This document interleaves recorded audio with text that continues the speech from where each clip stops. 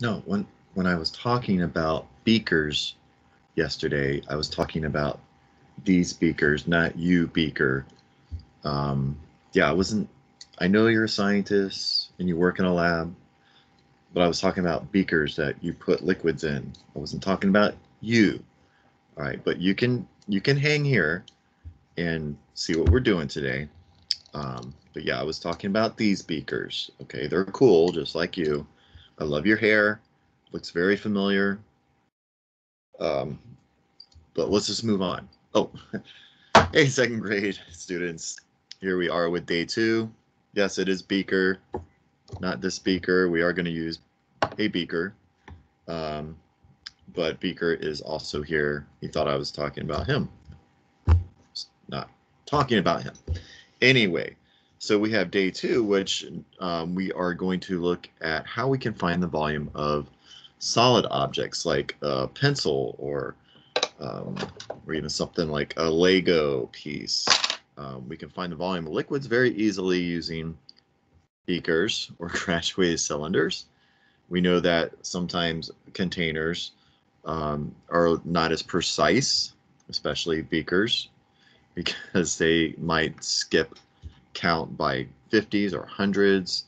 I've even seen some that skip count by thousands. So if you need to be really precise, um, you would want to use um, a graduated cylinder like that. Um, but we're going to look at day two, and we are going to see how, woo, it's the beaker show. We can see how we can find the volume of solid objects and how are solids different than liquids? What, how are their physical properties? How are they different? How are solids and liquids different in their physical properties? You can uh, talk about that as I switch over to my camera so we can see what tools we're going to use. Obviously, I have a recording sheet here. So day two of my slam, which is available. And you could also use um, your science notebook, totally cool. We're going to do a little bit of math today. We have to do that. So day two starts with, I have my graduated cylinder here. I have my beaker with some water I have also a pipette because I want to be precise. So if I go over um, my milliliters, if I'm not precise, I need to uh, take a little bit out.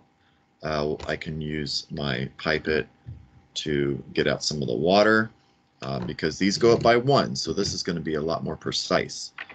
So what we're going to do is we have some solid objects. So I have some very solid objects, five, and you might have some different objects. It's okay um, just five objects that will definitely fit into the top of your graduated cylinder that you can get um, in and out pretty easily.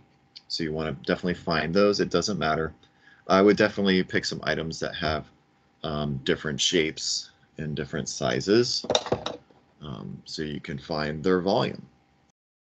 So we know volume is the amount of space something takes up. So we know the water in this graduated cylinder takes up a space of 50 milliliters. So I have it right on 50 milliliters already. I poured some water in there, so I'm ready to go. So on day two, finding the volume of objects. So it says number one, pour 50 milliliters of water from the beaker into the graduated cylinder. Done. Drop object one into the graduated cylinder. So write in what is your object one. I'm going to drop in my random number generator cube into the top of the graduated cylinder. Now, remember what I talked about losing milliliters? Um, you could do that. You could splash some of the milliliters, some water out, and you would lose a milliliter. Remember, I said four drops of water is about one milliliter. So, a couple things you could do. You could cup the top when you drop it in. So, it's cup the top or you can even turn and just let it slide, um, let the object slide down in the graduated cylinder. Okay, so I'm writing down cube. If you want to do that with me, if you have a different object, you can go ahead and write that object on number two. So mine is a cube for that. And I'm going to slide it so I don't lose any milliliters. There we go. Sweet. There it goes down to the bottom. Okay. Now I'm going to read the graduated cylinder.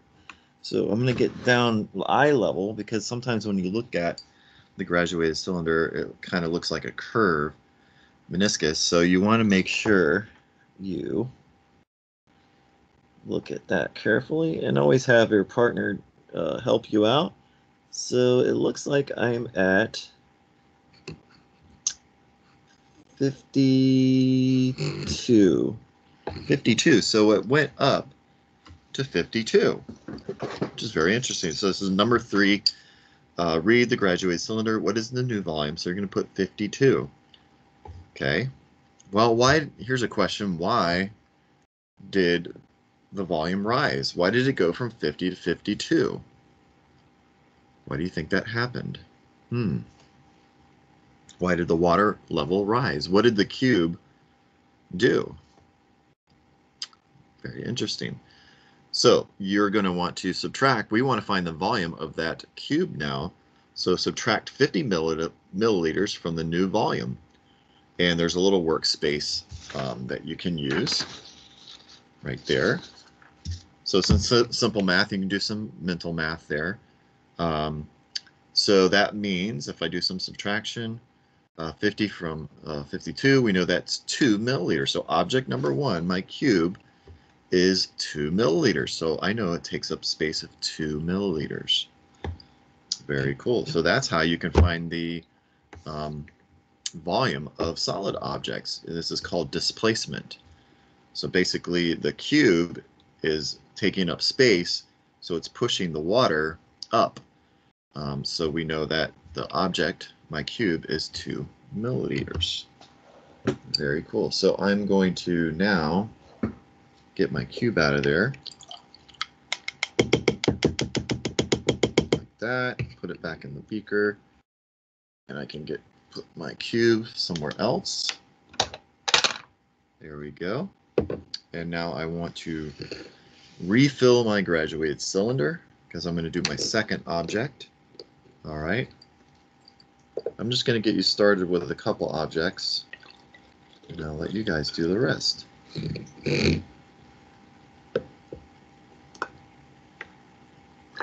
Right.